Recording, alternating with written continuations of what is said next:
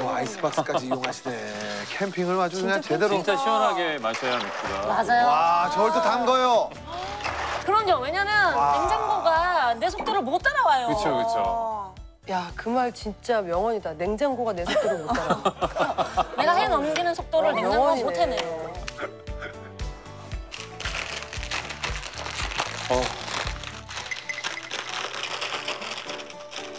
제가 이제 캠핑을 갔을 때 어디 블로그에서 보다가 어차피 순댓국에 들어가는 국물은 사골 국물이다. 음.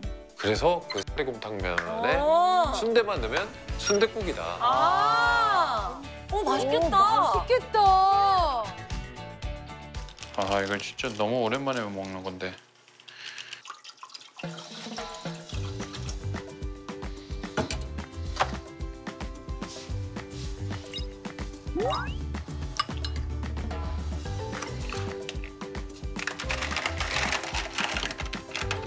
그러라. 살이 괜찮은 이론인데? 순댓국. 네, 그렇죠. 살이 곰순대. 근데 원래 보, 통은 부추도 좀 넣고 다대기 같은 것도 좀 싸가서 넣으면 아. 쌀가루도 좀 진짜 넣고. 네, 피부로 햇반을 안 데피고 그냥 국물에 넣고 끓여. 끓이면 아, 네, 끓이면. 국밥. 네, 국밥처럼 먹는 그렇지. 음. 쓰레기.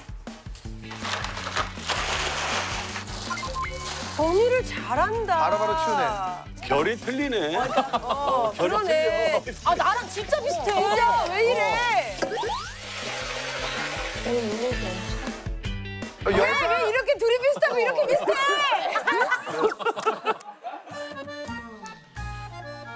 뚝딱뚝딱이네. 아 엄청 깔끔하시잖아. 미쳤다 미쳤어.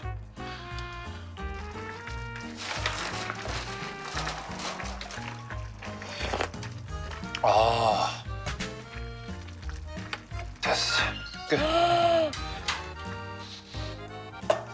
자. 됐어. 완벽해. 오. 아.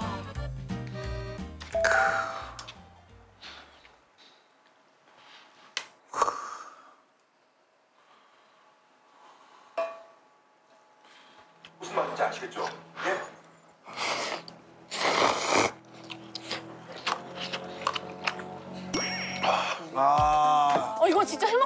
나 이거 처음 봤어. 그러네. 이런 조합은.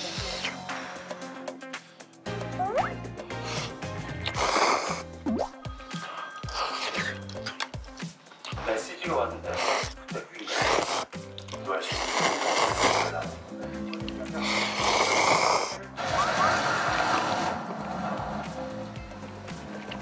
어. 아이고.